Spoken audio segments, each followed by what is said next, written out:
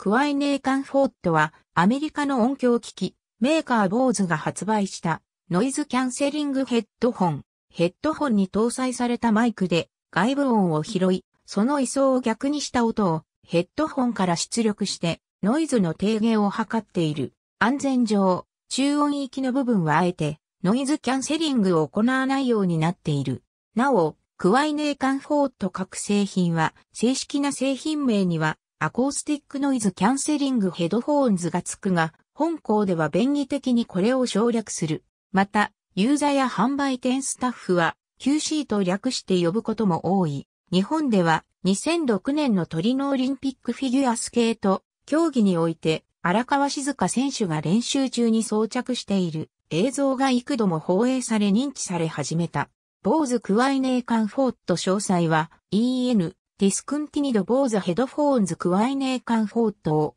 参照ヘッドホンとは別に単4乾電池2本とノイズを低減する電子回路を搭載したバッテリーボックスで構成される2000年にリリースされた。初代はこのバッテリーボックスの取り回しが悪く不評であったため、後に発売した QC2 や QC3 ではバッテリーボックスがヘッドホン部分に内蔵されている。クワイネーカンフォートに2003年に発売開始された。初代との大きな差はバッテリーであり、単4電池1本がイヤーマフ部分に内蔵されるように改良された。左出しのケーブルは本体側で取り外しができ、このプラグ位置にインピーダンス調整用のスライドスイッチを備える。また、航空機オーディオ用のデュアルプラグ、ステレオ標準プラグアダプタ、そしてキャリングケースが付属する。重量は約 170g。価格は41,790円。本体色は当初シャンパンゴールドであり、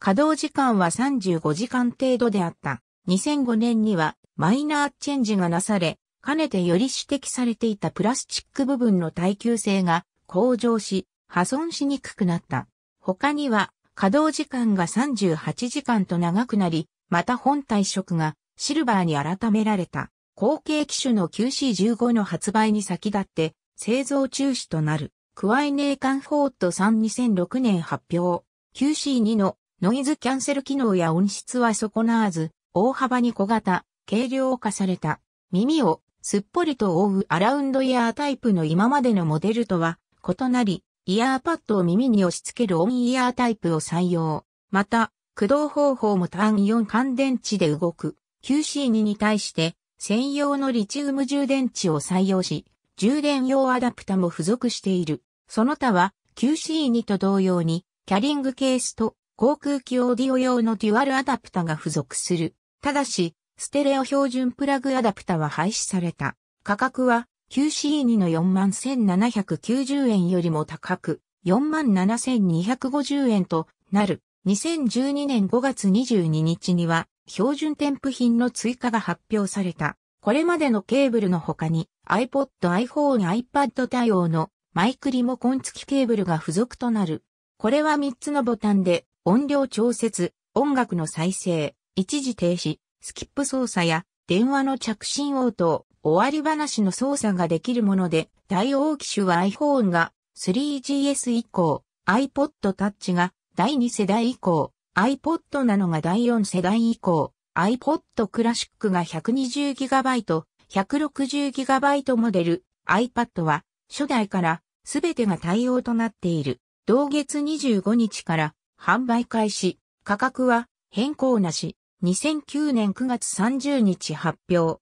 販売開始。QC2 の後継機としてノイズキャンセル機能を大幅に向上させたモデル。型番の数字が15になったのもこのキャンセル能力の飛躍的な進歩を表し、機能追加による効果の高さを示している。また価格は41,790円から39,900円と値下げされた。QC2 との相違点は、外観については、ハウジング部中央にある楕円形のリングパーツの上部に3つの穴が開いたこと、ハウジング下部にクワイネーカンフォート15の型番表示がされたことで、それ以外は QC2 を踏襲している。内部設計については、ノイズ検出用のマイクを内側に設置していたが、QC15 では外側にもマイクを設置し両側をそれぞれ連動させて高いキャンセル能力を実現している。その他、駆動時間が QC2 のマイナーチェンジ後のモデルの38時間から、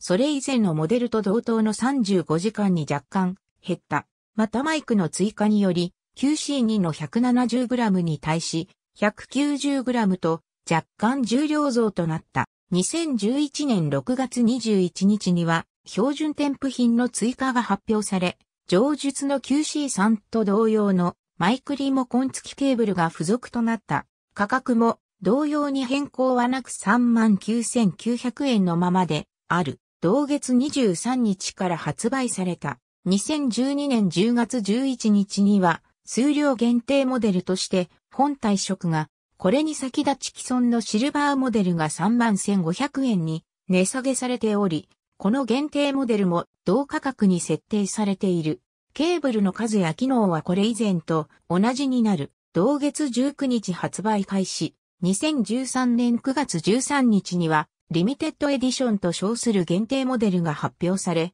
予約販売が開始開始となった。本体色がスレートグレーとブラウンのツートンカラーで、付属のキャリングケースにレザーが採用されている。価格はこれ以前と変わらず、また標準カラーと同額の31,500円である。同月27日販売開始。同年10月29日には、坊主既存直営店21店に加えて新たに2店舗がオープンすることが発表されたが、これを記念した QC15 の数量限定カラーモデル発売が発表された。スペシャルエディションと名付けられ、アビスブルー、フォッシル、クランベリー、グラファイト、カーボンブラックの5色が各色20台用意され、新規オープンの2点のみで販売される。価格は42,000円で、使用は既存シルバーモデルと同じである。2013年9月発表、発売。これまでのヘッドバンド付きヘッドフォンではなく、